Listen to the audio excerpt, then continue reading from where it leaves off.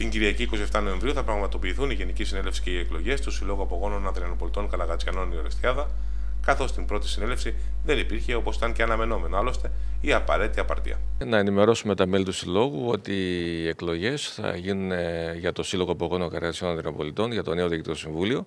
Θα γίνουν στις 27, την Κυριακή στις 27 Νοεμβρίου, ώρα 11, στο χώρο της Βιβλιοθήκης του Φιλελευθερικού Συλλόγου Αδριανόπολη.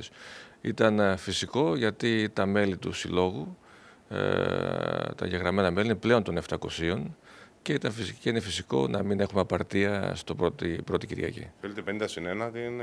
Αυτό ακριβώς είναι 50% συν 1 για να ξεκινήσει η διαδικασία των ε, εκλογών. Την πρώτη Κυριακή. Την, την πρώτη Κυριακή. Τη ναι. δεύτερη; Τη δεύτερη Κυριακή όσοι είναι εδώ, μέλη, τακτικά μέλη, θα ψηφίσουν για το νέο Διοικητικό Συμβούλιο. Ο Σύλλογο προσπαθεί να διατηρήσει τους ιστορικούς δεσμούς με την πατρογονική αιστεία και στο πλαίσιο αυτό προγραμματίζει δράσεις καθ' όλη τη διάρκεια του έτους. Οι εκλογές για το Συμβούλιο είναι ένα τρία χρόνια.